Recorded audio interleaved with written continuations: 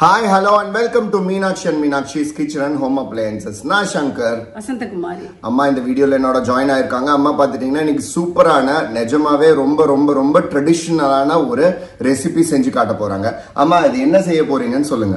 அதாவது தெலுங்குல வந்து அமர்த்த பழம்னு சொல்லுவாங்க. தமிழ்ல வந்து மோர் கூழ்னு சொல்றாங்க மோர் களின்னு சொல்றாங்க. இப்படி மட்டும் சொல்றாங்க.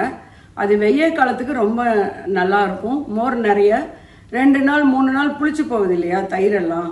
அதை ஊற்றி தான் செய்யணும். அதனால மோரும் வேஸ்ட் ஆகாது தயிரும் வேஸ்ட் ஆகாது. அது என்ன செய்யறது எப்படி செய்யறதுன்னு சொல்லித்தரேன். ஓகே வாங்க. இது ரொம்ப ரொம்ப சூப்பர்பான மவுத் வாட்டரிங் டிஷ் தான் இது கண்டிப்பா. ஸோ இது வாங்க வீடியோக்குள்ள போகலாம் அது எப்படி எல்லாம் ஊற வச்சிருக்காங்க அது எப்படி அரைக்கிறாங்க அது எப்படி செய்றாங்க அப்படிங்கிற எல்லா விஷயமும் டீட்டெயில்டா பார்க்கலாம். வாங்க வீடியோக்குள்ள போகலாம் இப்போ அமர்த்த பழம் எப்படி செய்யலான்னு பார்க்கலாங்க. தெலுங்கில் வந்து அது அமர்த்த பழம்னு சொல்லுவாங்க. தமிழில் வந்து மோர் கூழ்னு சொல்கிறாங்க மோர் களின்னு சொல்கிறாங்க அது பழைய காலத்து டிஷ் தான். அது உடம்புக்கு ரொம்ப நல்லது. இந்த வெய்ய காலத்தில். அதுக்காக இன்னைக்கு நான் சொல்லித்தரேன் அதுக்கு என்னென்ன தேவைன்னு பார்க்கலாம். வாங்க. அதுக்கு பச்சரிசி ஊற வச்சுருக்கேங்க. நான் ஒன்றரை டம்ளர் பச்சரிசி எடுத்திருக்கேன். அதுக்கு தயிர். தயிர் வந்து புளிச்ச தயிர் தாங்க இருக்கணும் இதுக்கு. ரெண்டு நாள் மூணு நாள் ஆனால் தயிராக இருந்தாலும் பரவாயில்ல. அப்போ தான் நல்லாயிருக்கும் தயிர் எடுத்திருக்கேங்க. இப்போ வந்து தேங்காய் பச்சை மிளகா இது நாலும் போட்டு ஆட்டிக்கணுங்க. இப்போ வந்து தாளிக்கிறதுக்கு வந்து ஆயில் கடுகு ஊற வச்ச கடலப்பருப்பு வரமிளகாய். வரமிளகா பாருங்க இப்போ ஆட்டலாங்க. ஜெனித் மிக்சியோட சென்டர் ஜாரில் போடுறாங்க. இப்போ தேங்காய் தயிர் அதே மாதிரி அரிசி மூணுமே மிக்ஸ் பண்ணி ஈக்குவல் ரேஷியோவில் போட்டு அரைக்கிறாங்க. தேவையான உப்பு.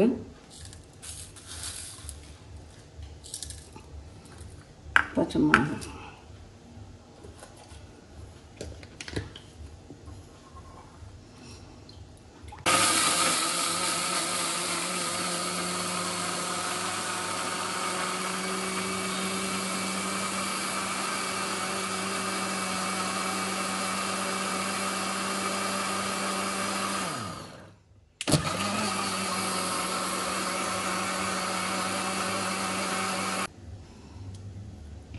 பாருங்க இது போல ரவையாட்டை எடுத்துக்கணுங்க.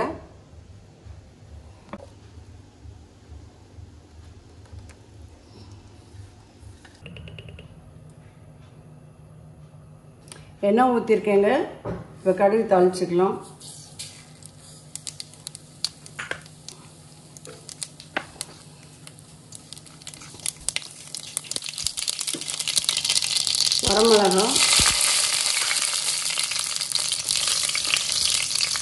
ஊற கடலப்பருப்பு.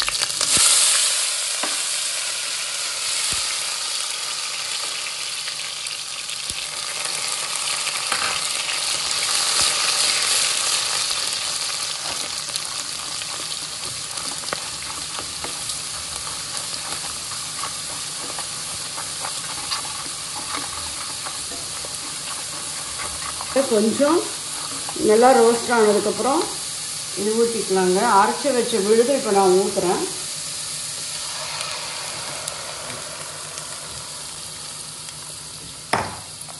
இதுக்கு ஒரு டம்ளருக்கு அரிசிக்கு நாலு டம்ளர் தண்ணி ஊற்றணுங்க நான் எனக்கு தேவையானதை இப்போ ஊற்றிக்கிறேன்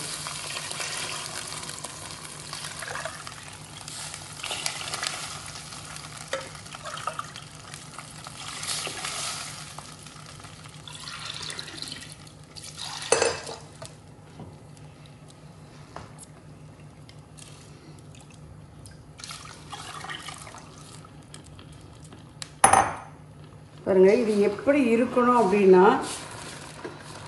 பாருங்க வெறும் தண்ணியாக தான் இருக்கணும். பாருங்க இந்த பொஷனில் தான் இருக்கணுங்க.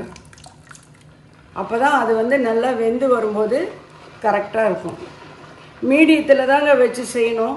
அப்போ தான் அடி ஓட்டாமல் நல்லா வரும்.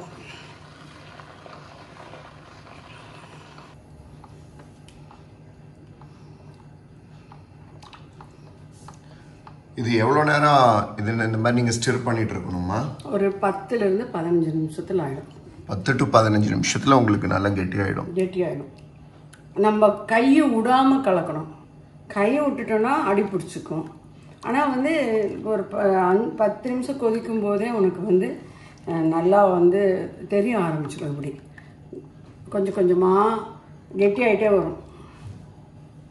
ஹல்வா மாதிரி இல்லையா? அல்வா மாதிரி தான் அது வந்து அடி ஒட்டாமல் இருக்கும்போது நம்ம எடுக்கணும்.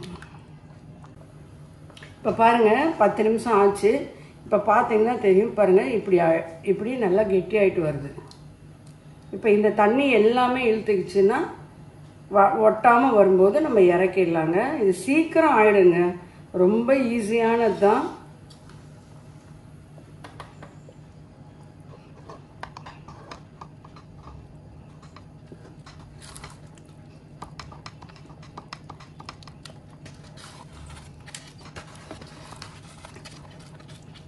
பாருங்கள் எவ்வளோ நல்லா ஆகிட்டு வருதுன்னு. இப்போ எண்ணெய் பத்தாதுங்க. அதனால் நான் இன்னும் மறுபடியும் கொஞ்சம் எண்ணெய் ஊற்றிக்கிறேன்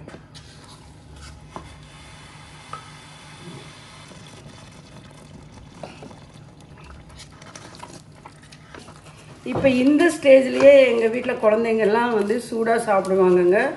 ரொம்ப நல்லா இருக்கும். இது ஒரு ஒரு முக்கால் பதத்திலேயே எடுத்து சுட சுட சாப்பிடுவாங்க. ரொம்ப நல்லா இருக்கும்.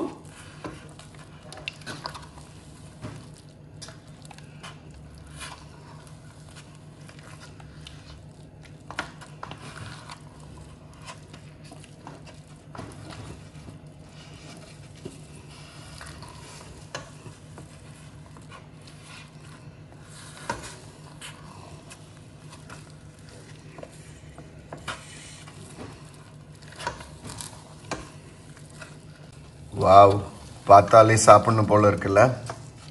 அந்த அளவுக்கு டேஸ்டியாகவும் இருக்கும். இதுக்கு சூப்பரான காம்பினேஷன் என்னன்னு பார்த்துட்டிங்கன்னா சின்ன வெங்காய ஊறுகான்னு சொல்லலாம். ரொம்ப டெலிஷியஸாக இருக்கும். செம matching combination made for each other மாதிரி.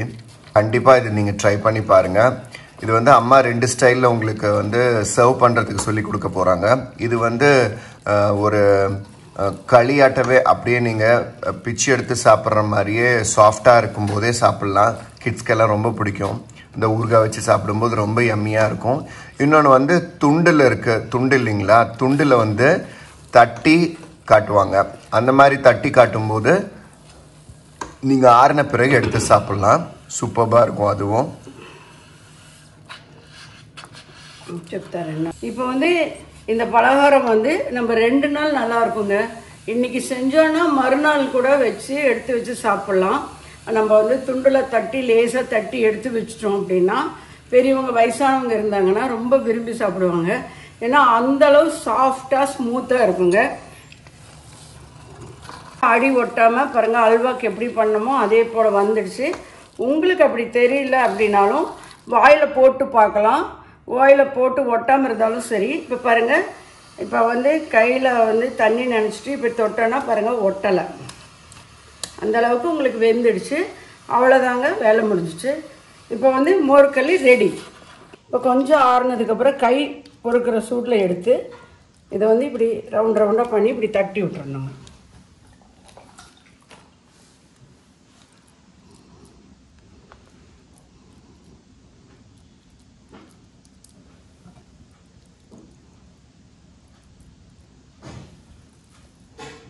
சூடு பொறுக்காதவங்க இப்படி கூட கொஞ்சம் கொஞ்சமாக போட்டு வச்சுட்டு அப்படியே அதை ரவுண்டாக பண்ணிடலாம்.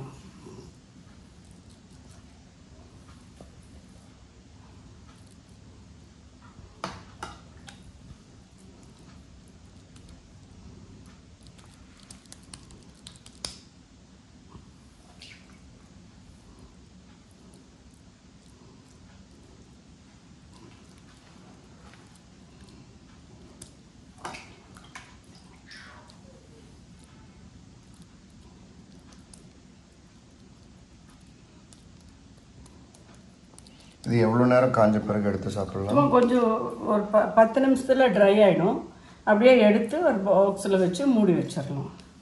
இப்போ இப்படியும் செய்யலாம். இல்லை அப்படின்னா ஒரு தட்டில் ஆயில் தடவிட்டு அதை அப்படியே அல்வாவாட்டம் ஊற்றிட்டு அப்படியே கட் பண்ணியும் சாப்பிட்றோம்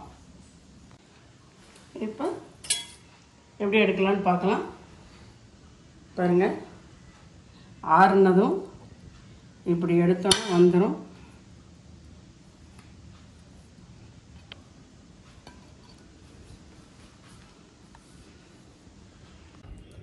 ஓகே பார்த்தீங்களா சூப்பராக இருக்குல்ல? பாருங்கள் இதுதான் அமர்த்த பழம் மோர்களின்னு சொல்லுவாங்க. பாருங்கள் இது வந்து இந்த மாதிரி பீஸ் பீசஸாக பண்ணியும் எடுத்து சாப்பிட்லாம். அம்மா அந்த துண்டில் தட்டினாங்க இல்லையா அந்த மாதிரி. அப்படி இல்லைன்னா நாங்கள் அதை சூடாக இருக்கும்போதே அப்படியே எடுத்து வச்சு கூட ஒரு உப்புமா சாப்பிடுவோம்ல அந்த மாதிரி கூட நாங்கள் இந்த ஊறுகாய் காம்பினேஷன் வச்சு சாப்பிடுவோம். ரொம்ப ரொம்ப ரொம்ப ரொம்ப எம்மியாக இருக்கும். அதுவும் இல்லாமல் இது ரொம்ப ஸ்பெஷலாக இருக்கிறது வந்து இதோட சைட் டிஷ் வந்து பார்த்துட்டிங்கன்னா இந்த சின்ன வெங்காய ஊறுகாய் மட்டும்தான். அப்படி வந்துட்டு இது சின்ன வெங்காய ஊறுகாய் லைட்டாக ஸ்வீட்டிஷாக இருக்கும். ஏன்னா அம்மா இந்த சின்ன வெங்காய ஊறுகாய் நேற்று செஞ்சாங்க அது பார்த்துருப்பீங்க அதில் வெல்லம் போட்டிருப்பாங்க. இந்த ஸ்வீட்டிஷ் பிடிக்கணும் அப்படிங்கிறவங்க வந்துட்டு இந்த சின்ன வெங்காய ஊறுகாவோட ட்ரை பண்ணலாம்.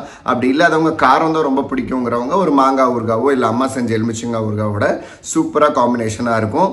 இது எப்படி இருக்குன்னு நான் சாப்பிட்டு பார்த்து சொல்கிறேன் உங்களுக்கு. சூப்பராக இருக்குமா?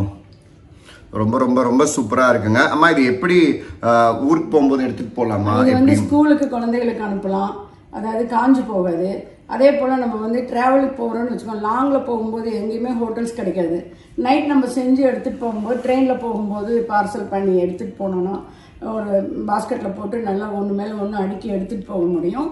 அப்போவும் வந்து உங்களுக்கு காதால் டிஃபன் கிடைக்காத நேரத்தில் நம்ம குழந்தைகளுக்கு நம்ம சர்வ் பண்ணிக்கலாம். ரொம்ப நல்லா இருக்கும். ரெண்டு நாள் நல்லா இருக்கும். வீட்டில் பெரியவங்க வயசானவங்க இருந்தாலும் சாப்பிட்றதுக்கு ரொம்ப எம்மியாக சாஃப்டாக இருக்கும். பல்லே இல்லைனாலும் சாப்பிட முடியும் ஓகே சூப்பரான இந்த டிஷ் வந்து ரொம்ப டிஃப்ரெண்ட்டாக இருந்திருக்கும். நிறைய பேருக்கு தெரிஞ்சிருக்காது அப்படின்னு நான் நம்புகிறேன் இந்த வீடியோ உங்களுக்கு பிடிச்சிருந்துச்சுன்னா இந்த வீடியோவில் இருக்கிற இந்த கண்டென்ட் உங்களுக்கு பிடிச்சிருந்துச்சுன்னா ட்ரை பண்ணி பாருங்க. ட்ரை பண்ணிட்டு எப்படி இருக்கு அப்படிங்கறத உங்க ரிசல்ட்டை எங்களுக்கு ஃபீட் பண்ணுங்க. ஸோ தட் இந்த வீடியோ உங்களுக்கு பிடிச்சிருக்கும் நான் நம்புறேன். இந்த வீடியோ உங்களுக்கு பிடிச்சிருந்துச்சுன்னா லைக் பண்ணுங்க ஷேர் பண்ணுங்க. மீனாட்சி அண்ட் மீனாட்சி யூடியூப் சேனலுக்கு சப்ஸ்கிரைப் பண்ணுங்க. இன்னொரு சூப்பரான வீடியோவில் நாங்கள் உங்களை கேட்ச் பண்றோம். அண்டில் தான் this is Shankar Vasanthakumari. Off. Take care. Bye. bye.